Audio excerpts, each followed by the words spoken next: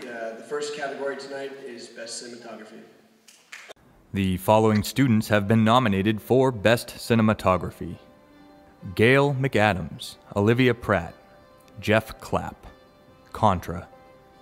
Cinematography of this movie was one of the biggest aspects. We really focused on visual storytelling and we incorporated a lot of shots that kind of told the story visually. Really tried to keep our shots clean and just very like balanced shots, focusing on whoever the main actor was, not making our shots too busy.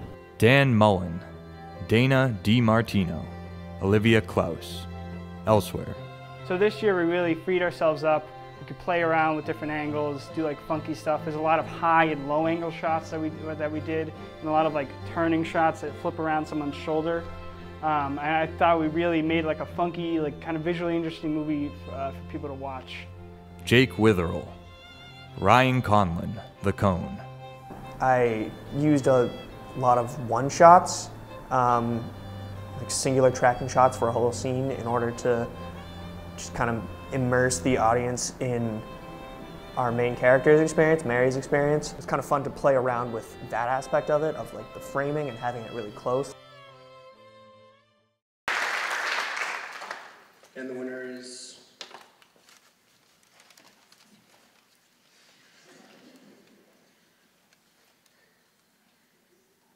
Gail McAdams.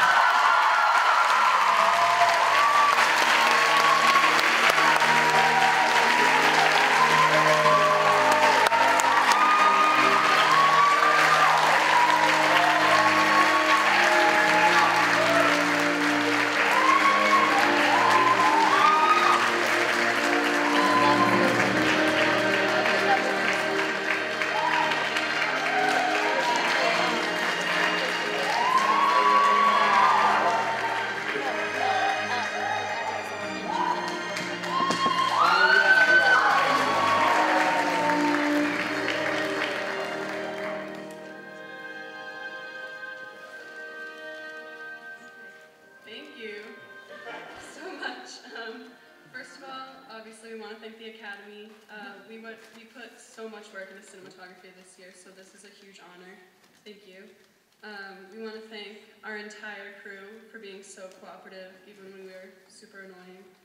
Uh, we want to thank Mr. Allen and Mr. Connolly for supporting all of our weird ideas with shots and uh, having faith in us the whole year. We want to thank the tungsten filter and the 85 millimeter lens. Um, and we want to just acknowledge how hard every crew worked this year. You guys took cinematography to a new level, and um, it was inspiring to work alongside you guys. Thank you.